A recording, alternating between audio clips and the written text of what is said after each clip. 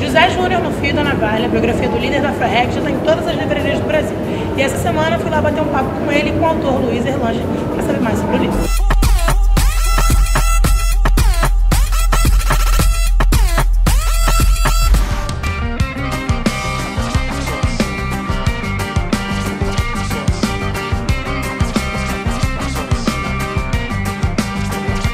A mensagem principal que esse livro passa é que é possível mudar, que é possível transformar, a partir do momento que você acredita, você tem um foco. Eu acho que talvez a minha maior virtude e qualidade é o foco que eu tenho naquilo que eu acredito. Quero só você.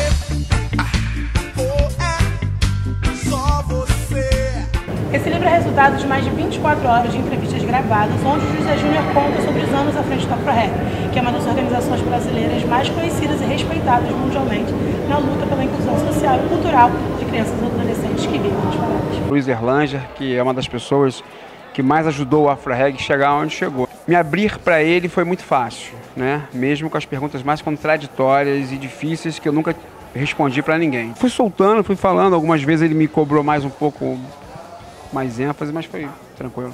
E além das histórias como líder da ONG, a biografia também aborda aspectos da vida pessoal do. Uma infância, família, desafios e até alguns momentos delicados que ele passou, como por exemplo as de morte que ele sofreu em 2013. O Júnior efetivamente anda no fio da navalha, porque ele trafega tanto no mundo, é, digamos, da criminalidade, onde ele está lá presente, fazendo mediação, tentando tirar pessoas do crime, como ele trafega no mundo da legalidade, é, com políticos conhecidos, tentando organizar projetos sociais interessantes. É um camarada que vive permanentemente em situação de risco.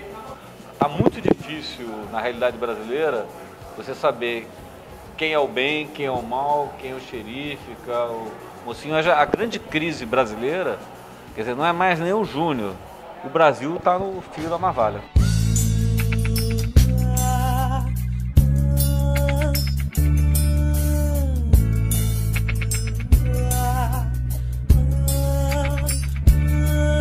E aí, você já leu? O que você achou? Comenta aqui com a gente, deixa a sua opinião. Não esquece também de curtir aqui o vídeo, se inscrever no canal e seguir a gente em todas as redes sociais. Até a próxima. Fica a dica.